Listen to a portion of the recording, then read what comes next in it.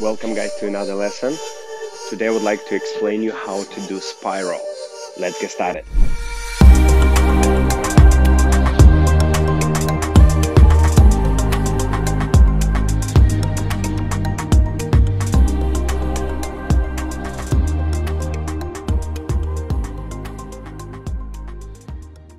Okay, how to do spiral. So first of all, we have to break it down to a few stages. So number one, prepare your body. So put your body weight on the left leg, right leg is bent. Now, as always, number one priority is correct posture. Tummy in, chest up, knee back. So remember these three points to create a beautiful posture. Tummy in, chest up, knee back. So now we're ready for the number one stage. To do a spiral, we have to do a rumba walk forward. So we prepare a little bit high, then we release our way down towards the floor, towards the gravity, into the hip, and using that energy, we're stepping forward. So number one, prepare beautiful posture, tummy in, chest up, knee back, then release your weight to the gravity and same time drift your spine forward. And that will be a rumba walk. Try to land as much as you can in split balance position. So what it means split uh, split weight.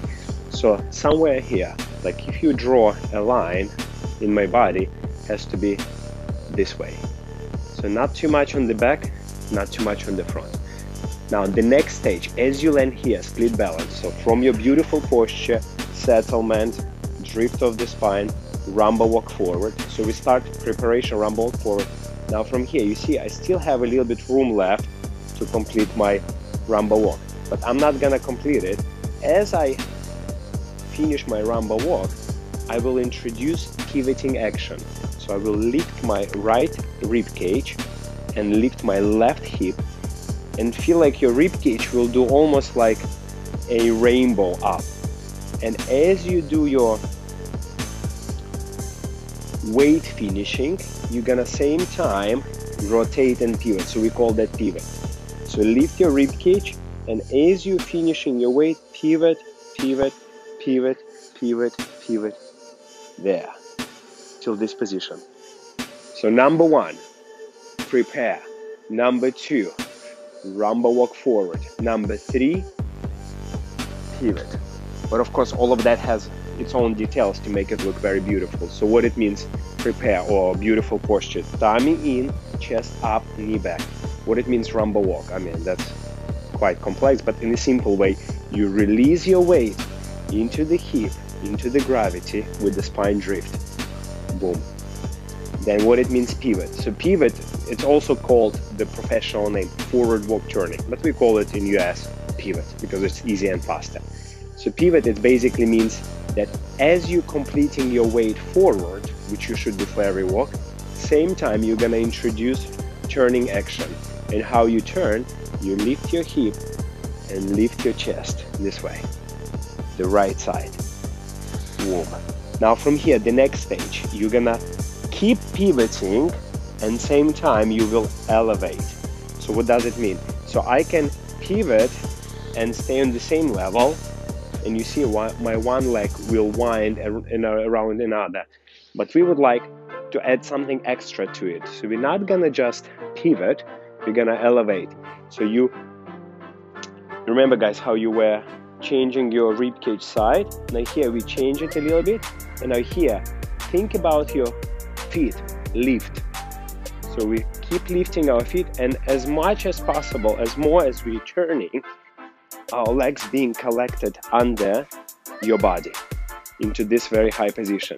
And now from here, you're gonna do exactly the same. You're gonna put your heel down, release your weight into the gravity, to drift your spine forward, and go for another rumba walk. So that's the spiral with a little bit tips and secrets. So let's do it again. And prepare, walk, pivot, keep pivoting and elevate. Pretend like you're using your arms like you're pressing on this table to give yourself a little bit more wind up. And then from here, you're gonna release, put your heel down, release your weight to the gravity, and then you take off. Now, on that final wind up, I strongly recommend use a little bit arm to help you to turn because you know when you do it very slowly when you don't have momentum it doesn't feel as stable but when you do it with momentum it feels pretty good. So we're to introduce a little bit arm to help ourselves to turn because remember every time you turn the turn regardless each way it's always come from the upper body so like if i want to pivot i will pivot shoulders hips then legs or if i want a hip twist it's always shoulders hip then leg so when we introduce arm arm being part of the upper body. It can give us better wind up. So on that final moment, you can help yourself with the hand. I'll do a little bit faster. And walk and walk, walk. Okay, guys, so this is uh, some tips and little secrets how to do spiral. Please join my learning platform, dancewitholeg.com.